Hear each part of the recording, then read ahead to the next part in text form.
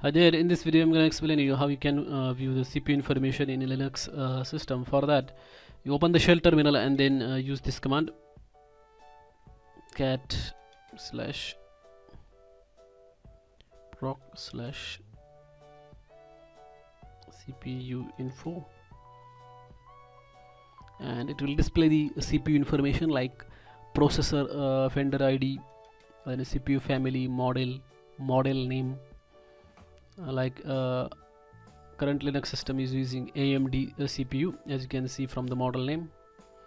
And it gives the all the details uh, about the CPU like microcode CPU uh, frequency cache size etc it, it is also showing these uh, bits cache alignment CL flush size etc so that's how you can find out the uh, CPU information in Linux. And if you are in Ubuntu in case you can also use the or any other uh, Linux system you can use hard info command. Uh, if it is not installed you can install it using apt-get or uh, yum in other systems. So hard info also displays the information about entire system actually.